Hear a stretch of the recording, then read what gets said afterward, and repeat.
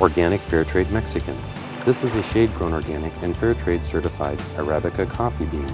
These organic coffee beans from the Chiapas region are a favored coffee. Coffees from this region are sought after for their delicate aroma, medium body, natural chocolate flavor, and bright acidity.